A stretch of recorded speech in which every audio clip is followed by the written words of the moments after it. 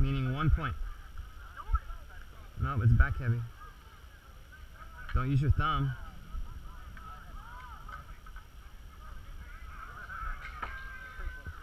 Close enough, I think. Alright, so hold it at that point. Give it a good hold and. Ah. Sometimes